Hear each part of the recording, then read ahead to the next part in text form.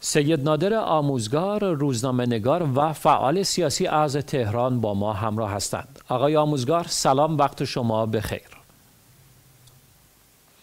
سلام علیکم وقت شما هم بخیر. متشکرم از دعوت جناب آموزگار اعتراض همزمان چهار کشور همسایه و تاثیرگذار در مسئله افغانستان از افزایش فعالیت های تروریستی به چه معناست؟ بفرمایید. اصولا طالبان از وقتی که در افغانستان روی کار اومدن به تروریست ها میدون خیلی بازتری دادن برای حرکت. و این غیر طبیعی هم نیست. غیر طبیعی اینه که حکومت ایران متاسفانه گفت که طالبان این طالبان اون طالبان نیستن. فرقی نمی‌کنه. اینها همونهایی هستن که مدارس دخترونه رو منفجر می‌کردن در زمان رژیم سابق افغانستان.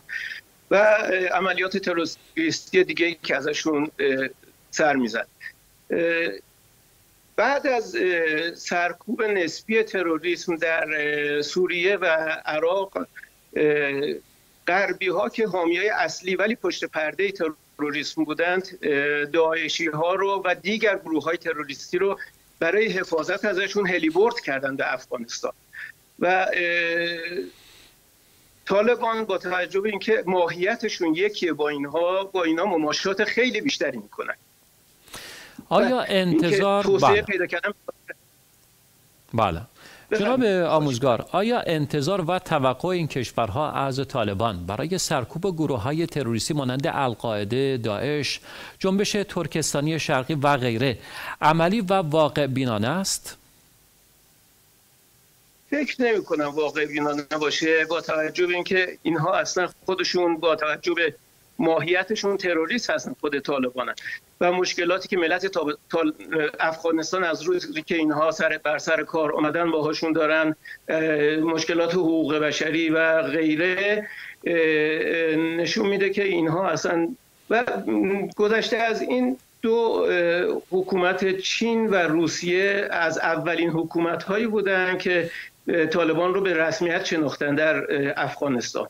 با وجود اینکه غربی که خودشون از پایگزارای این تروریست پشت پرده بودن و پاکستان که جایی بود که اینا آموزش دیدن سعودی ها که هزینه های مالی اینها رو می‌دادن اینا اینا یه چیزهایی داشتن استفاضاتی داشتن برای به رسمیت شناختن. ولی این دوتا حکومت و ایران هم که سریع بهشون اینجا در تهران سفارتخونه داد و اینه که این اعتراض امروزشون در واقع کسایی دارن اعتراض می‌کنن و پاکستان که خودش اصلا در مدارس علمیه به این تروریستا آموزش داده. این چهار کشوری که دارن اعتراض می‌کنن خودشون از یا تایید کننده ها و یا همراهی کننده های با طالبان بعد از به حکومت رسیدنش بله. دور جدیدشون در افغانستان هستن. بنابراین واقع بینانه نمی‌تونه باشه به نظر من. بله. با توجه به عمل کرد و رابطه نزدیک طالبان با سایر گروه های تروریستی تداوم وضعیت کنونی چه پیامدهایی در سطح منطقه‌ای و جهانی خواهد داشت؟ این حتما منجر به گسترش تروریسم در منطقه میشه. مخصوصا برای کشور ما خیلی خطرناکه با توجه که طالبان شاخه خراسانشون رو اعلام کردن و نسبت به خاک ما نظر سوء دارن. از می‌خوام داعش. و تا خود طالبان هم کم و بیش به اینا کمک می‌کنه. مثلا به یاد داریم که وقتی آقای رئیسی اعتراضش رو نسبت به حقابه ایران از رود هیرمند کرد.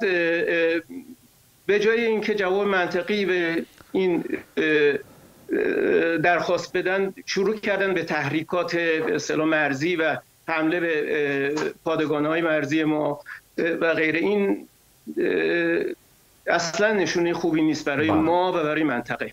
ممنونم سید نادر آموزگار از تهران با ما بودند.